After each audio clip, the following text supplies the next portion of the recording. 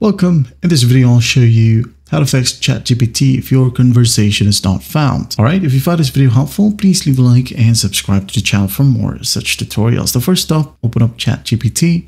Now just go to the top left right here and make sure to open up the sidebar. And here you have your conversations, okay?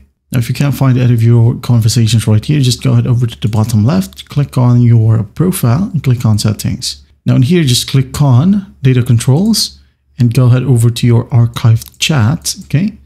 Click on manage.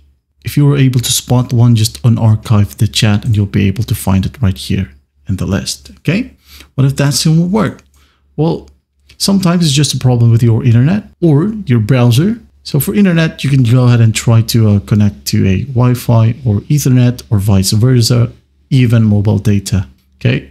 And once done, go ahead and go to chatgpt.com and check if it helps. Now, for the browser, if changing the internet connection doesn't fix the issue, you can go ahead and try a different browser. If you're using Chrome, go ahead and try Firefox or Brave. Okay.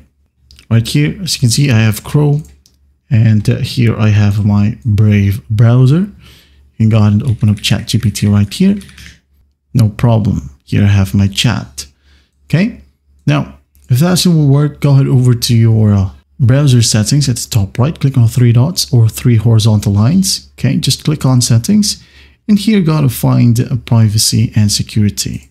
Click on it. Now gotta find third-party cookies. Okay, click on it. Now click on see all site data and permissions. Now here, go to search bar at the top right, click on it and find ChatGPT or OpenAI. Okay, now, once you've found it, you can now go ahead and click on delete right here. Okay. Once done, click on delete.